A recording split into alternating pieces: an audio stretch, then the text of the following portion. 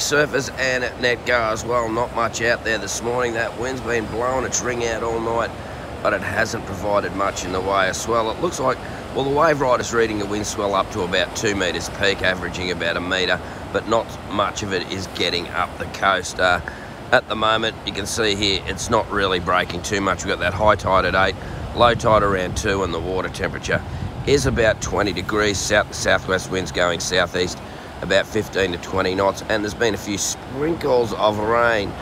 But as you can see it's not breaking too much occasionally ones out the cove out there. But uh, yeah if you're looking for a wave you'd be probably trying to D-Bah those tweed coast points. That'll give you best option. There's a couple inside the shore here very occasional at snapper and very occasional well not even breaking on the beaches anywhere really that's uh, that's not wind affected. You might try Miami South to Palmy find a little bank you'll get some fun but um don't expect much over need or waist. There's a couple of sets are a little bit bigger. Catching the waves.